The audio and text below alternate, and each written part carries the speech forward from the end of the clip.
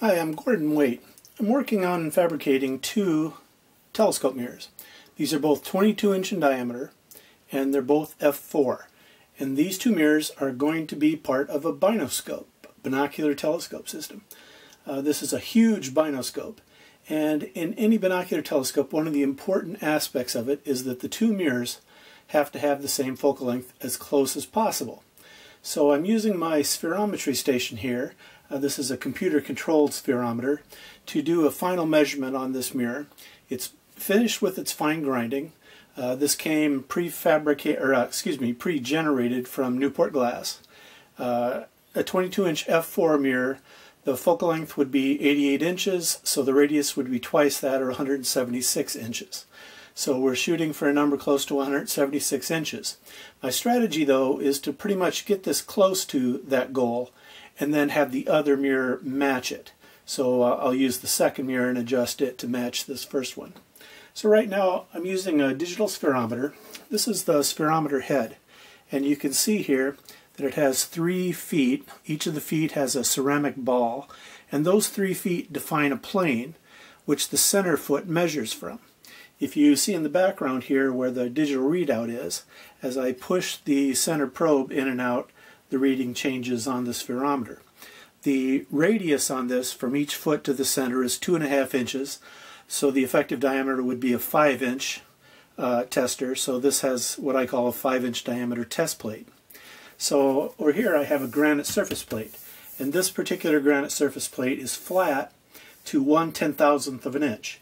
And this is the reference I use uh, to put these three feet down on, and those three feet will define a plane and thus I can take it from the granite onto the mirror to actually measure the sagitta of the surface and the computer inside the spherometer converts that sagitta reading directly into a radius here. So on the test of this mirror what's important is for it to be close to a, uh, the 176 inches that we want and it's also important that no matter where I test on this mirror it always have this, has the same radius of curvature because that means that this is a good sphere.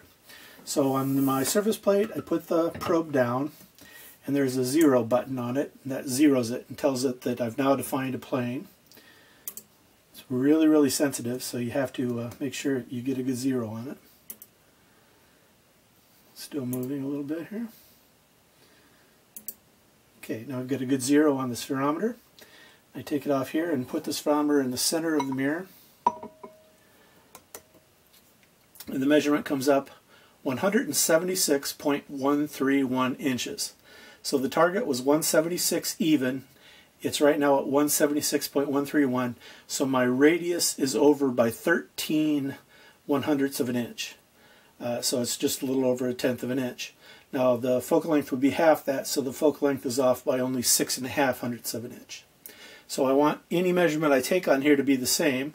So we'll remember 176.131 and we'll move this out on the mirror a little bit. And sure enough, we get 176.131. If I want to take a mirror on the very, very edge, I turn it so that two of the feet are right on the edge. And once again, I get a measurement of 176.131 inches. So this entire surface, this 22 inch mirror, now has a radius of 176.131 inches, and it's a good sphere. So this has been ground with 25 micron, 12 micron, and 9 micron microgrit aluminum oxide abrasive. And now that I have a good sphere, this is ready to go into polishing.